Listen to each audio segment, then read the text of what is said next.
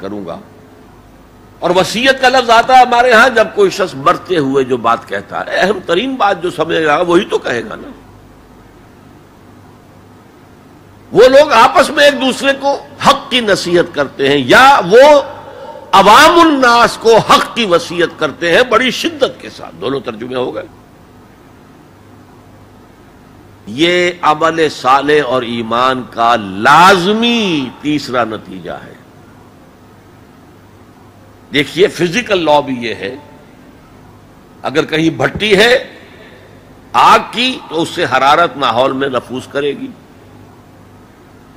اگر برف کی سل رکھی ہوئی ہے، تو اسے برودت، ٹھنڈک ماحول میں پھیلے گی۔ اگر کسی میں عمل صالح اور ایمان ہے، تو ممکن نہیں ہے کہ اس کی ذات سے نیکی کا پھیلاؤ نہ ہو۔ نیکی اس کی ذات سے نہ نکلے، نہ دوسروں تک پہنچے۔ It's the physical phenomenon number دو، یہ شرافت اور مروت کا تقاضا ہے۔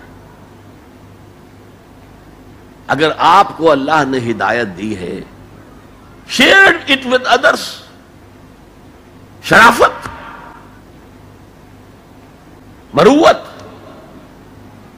حضور نے فرمایا لا یومن احدکم حتی یحب لاخیہ ما یحب لنفسہ تم میں سے کوئی شخص مومن نہیں ہو سکتا جب تک کہ وہ اپنے بھائی کے لیے بھی وہی بات پسند نہ کرے جو اپنے لیے پسند کی۔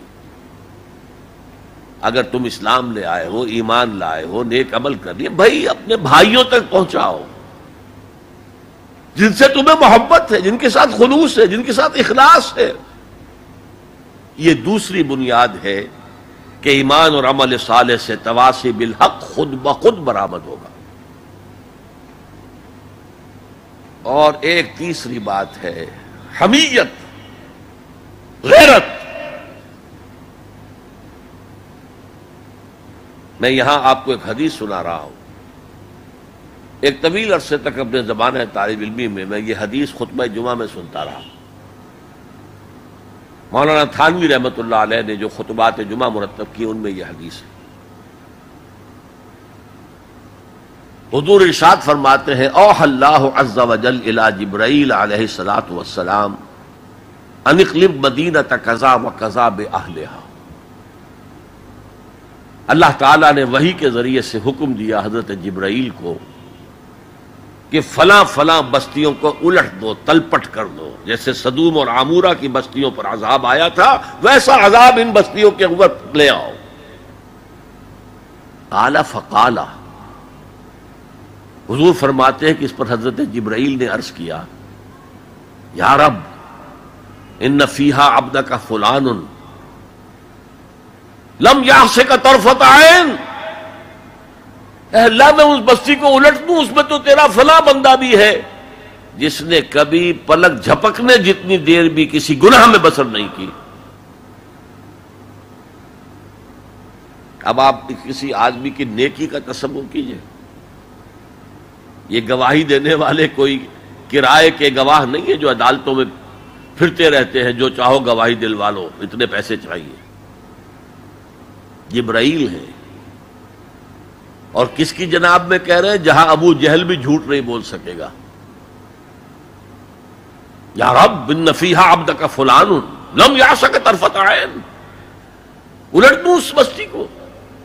اب جواب سنیے، قال فقال، حضور فرماتے اس پر اللہ نے فرمایا، اقلبہ علیہ وعلیہم الٹو اس بستی کو، پہلے اس بدبخت پر اور پھر دوسروں پر۔ فَإِنَّ وَجْهَهُ لَمْ يَتَبَعَرْ فِي سَاعَةً قَطْ۔ اس لیے کہ میری غیرت کی وجہ سے کبھی اس کے خون نے جوش نہیں مارا، اس کا چہرے کے اوپر خون نہیں آیا۔ آپ کو کوئی ماں کی گالی دے، اگر تو آپ میں جان ہے تو وہ جانے دیں گے اس کو۔ اور اگر جان نہیں ہے، آپ اس کا مقابلہ نہیں کر سکتے، تب بھی غصہ آئے گا، کانپیں گے آپ غصے کی وجہ سے۔ چہرہ آپ کا سرخ ہو جائے گا، یہ تو کم سے کم ہوگا نا۔ لیکن یہ اللہ کا بندہ اپنی نیکی میں لگا رہا۔ اس نے دیکھا نہیں ماحول میں کیا ہو رہا ہے۔ ماحول میں اللہ کی شریعت کی دھجیاں بکھیری جا رہی ہیں۔ ماحول میں اللہ کے حکام پاؤں پہلے روزے جا رہے ہیں۔ یہ لگا رہا، تو فقط اللہ اللہ اللہ۔ یہ زیادہ بڑا مجرم ہے۔ لہذا بستی کو پہلے اس پر پلٹو اور پھر دوسروں پر۔ یہ ہے تعلق تواسی بالحق کا، ایمان اور عمل صالح کے ساتھ۔ یہ میں پہلے عرض کر چکا ہوں اس تواسی بالحق میں۔ اصطلاحات بہت سی ہیں۔ حق کی دعوت دینا، اللہ کی طرف دعوت دینا حق ہے نا؟ اللہ کی ذات حق ہے۔ ذالک بان اللہ هو الحق۔ تو تواسی بالحق میں کیا ہوگا؟ ادعو الى سبیل ربک بالحکمت والموعظۃ الحسنۃ وجادل بالتي احسن۔ یہ بھی تواسی بالحق ہے۔ نیکی کا حکم تو بدی سے روکو۔ تامرون بالمعروف وتنهون عن المنکر یہ بھی تواسی بالحق ہے۔ اور اس کے درجات کہاں سے کہاں تک ہیں؟ اگر بچے کہیں گلی میں کھیل رہے ہیں، کرکٹ کھیل رہے ہیں، آپ ان سے کہتے ہیں، بیٹو، یہ یہاں پر کھیلنے کی جگہ نہیں ہے۔ آپ کسی گاڑی کا شیشہ توڑیں گے آپ کی گیند جو ہے، اس سے کسی گاڑی کو نقصان پہنچے گا، کسی انسان کو چوٹ لگ جائے گی، پھر کیا آپ بچ کر چلے جائیں گے وہاں سے؟ آپ کون ہوتے؟ ہیں ہوگی کہ نہیں؟ ریزنٹمنٹ ہوگی کہ نہیں؟ کبھی بھی اس تواسب الحق کو خندہ پیشانی سے نہیں سنا گیا۔ نہیں برداشت کیا گیا۔ اور اگر کچھ لوگ سمجھتے ہیں کہ ہم تواسب بالحق کر رہے ہیں، پھر بھی معاشرہ اس سے کچھ نہ کہے، انہیں کوئی تکلیف نہ پہنچائے۔ اس کا مطلب ہے انہوں نے حق کا کوئی ایسا حصہ لیا ہے کہ جو لوگوں کی دکھتی رگ کو نہیں چھیڑتا، اس سے بچ بچ کر چل رہے۔ اگر وہ حق کامل ہو تو باطل کبھی تسلیم نہیں کرے گا۔ باطل ریٹیلیٹ کرے گا۔ اب آپ سنیے ایک اور بات۔ یہ چھوٹا حق تھا کہ بیٹو یہاں نہ کھیلو، کسی گراؤنڈ میں جا کر کھیلو۔ سب سے بڑا حق کیا ہے؟ اس کائنات کا خالق، مالک اور حاکم اللہ۔ ہے اس کا حکم یہاں نافذ ہونا چاہیے۔ یہ حق ہے۔ اگر نہیں ہے تو اللہ کے خلاف بغاوت ہے۔ اس کی آپ اگر تلقین کریں گے تو آپ ایگزٹنگ سسٹم کے باغی قرار پائیں گے۔ پوری دنیا میں secularism sovereignty of the people تم کیا کہہ رہے ہو؟ تمہاری یہ ڈفلی کیا بجا رہی ہے؟ خدا کی ساورنٹی یہ سب سے بڑا حق ہے۔ اس حق پر جو بھی ریزنٹمنٹ ہوئی تھی مکے میں، جیسے جیسے ستائے گئے تھے حضور اور آپ کے صحابہ، وہ آپ کے علم میں۔ اگر تواسی بالحق ہو رہا اور ریزنٹمنٹ نہ ہو تو پھر آپ حق کی تعلیم نہیں دے رہے۔ اس کے کسی ایسے جز کی دے رہے ہیں کہ جس سے کسی کو کوئی نقصان نہ پہنچتا ہو۔ بس۔ یہ کوئی جینٹل مین ایگریمنٹ ہے آپ کا وقت کے نظام کے ساتھ۔ ہم تمہیں چھیڑیں گے نہیں، باقی ہمیں واس کہنے دو۔ کہہ جاؤ۔ اسی لیے فرمایا، من را من کو من کرن فل یوگیر ہو ہی۔ جو شخص تم میں سے کسی منکر کو دیکھے، کسی بدی کو دیکھے، کسی خلاف اخبات کو دیکھے، اس کا فرض ہے کہ اسے طاقت کے ساتھ اپنے ہاتھ سے روکے۔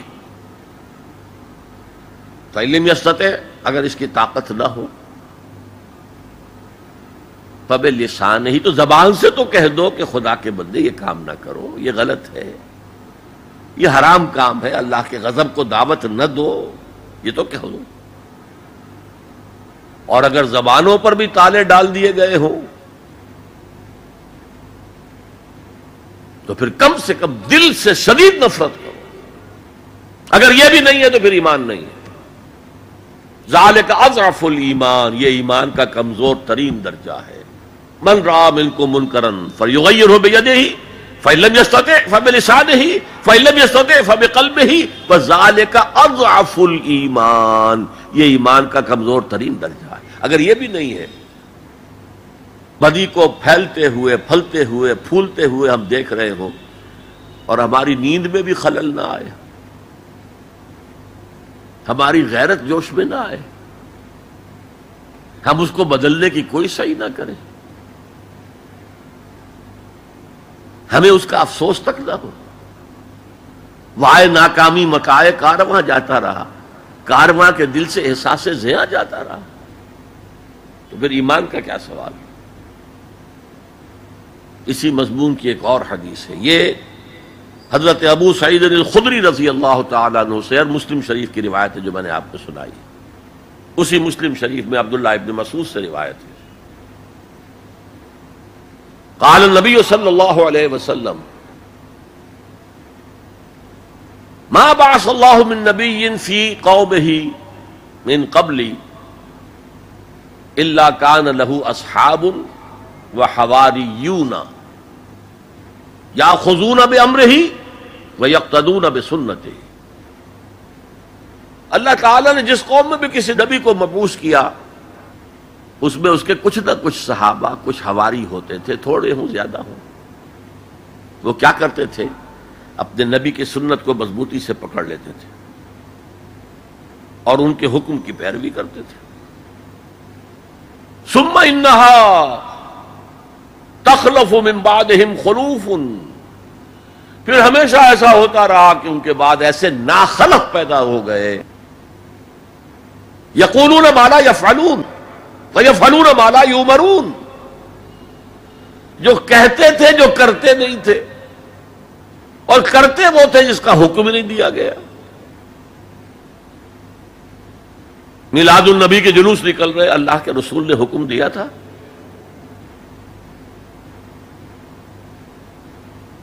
کرتے وہ ہیں جس کا حکم نہیں دیا گیا۔ یا فلون مالا یو مرون وہ یقون مالا یا فلون اور کہتے وہ ہیں جو کرتے نہیں ہیں۔ اب سنیے، فمن جاہد ہوں بے ید ہی فہو مومن جو ایسے لوگوں کے خلاف مسلمان ہوں گے نا وہ۔ سما انہا تخلوف من بعدہم خلوف۔ یہ غیر مسلموں کی بات نہیں ہو رہی ہے مسلمانوں کی۔ مسلمان حکمران آئے ایسے پمن جاہد ہی فو مومن جو کوئی ان کے خلاف جہاد کرے گا، ہاتھ سے، طاقت سے وہ مومن ہوگا۔ ومن جاہد بے لسان ہی فہو مومن اور جو ان سے جہاد کرے گا زبان سے وہ مومن ہوگا۔ ومن جاہد بے قلب ہی فہو مومن جو دل سے جہاد کرے گا یعنی دل سے شدید نفرت رکھے گا۔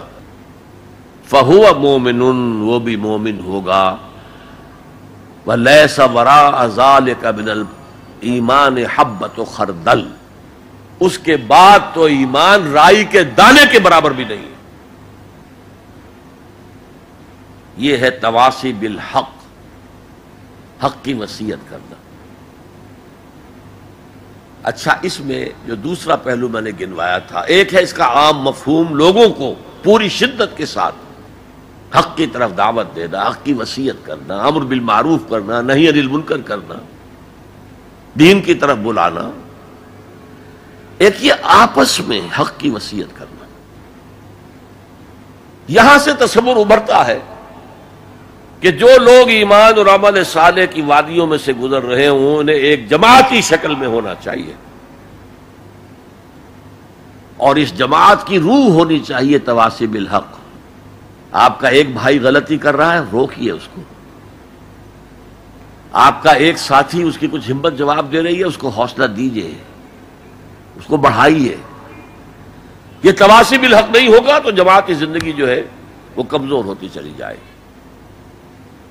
اس کو مولانا فراہی رحمت اللہ علیہ نے لکھا ہے کہ اس تواسی سے پہلے تو ایک جماعتی زندگی لازم آتی ہے اور پھر نظام خلافت کا قیام لازم آتا ہے۔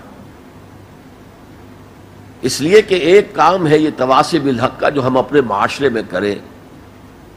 ایک ہے اس کا کام جو پوری عالمی سطح پر ہو۔ یہ عالمی سطح پر کون کرے گا؟ جب خلافت کا نظام قائم ہوگا تب وہ عالمی سطح پر ہوگا۔ تو وجوب قیام خلافت، یہ مولانا فراہی نے اپنی تفسیر صورت العصر کے اندر بیان کیا، یہ تواسی کے لفظ ہے اور یہ جماعتی زندگی نوٹ کر لیجیے۔ حضور نے فرمایا، ید اللہ علی الجماع اللہ کا ہاتھ جماعت کے اوپر ہوتا ہے۔ یعنی اللہ کی تائید، اللہ کی نصرت۔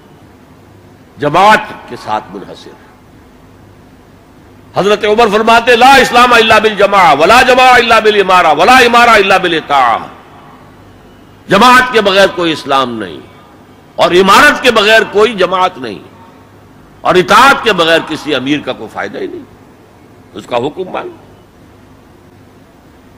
تو تواسی بالحق کے ضمن میں ایک اجتماعی زندگی ناگزیر ہے۔ اسے ایک بڑے پیمانے پر کرنے کے لیے۔ اور سب سے بڑا پیمانہ کیا ہوگا؟ خلافت راشدہ کا نظام کہیں قائم ہو تاکہ وہ پوری دنیا میں تواسی بالحق اس کا فریضہ سر انجام دے۔ اس لیے کہ حضور کی بے جو ہے وہ صرف اہل عرب کی طرف نہیں تھی۔ وما ارسلنا کا اللہ کا فتح سے بشیرم و نصیرہ اے محمد، ہم نے نہیں بھیجا ہے آپ کو، مگر تمام انسانوں کے لیے بشیر اور نذیر بنا کر اب آئیے تواسی بصبر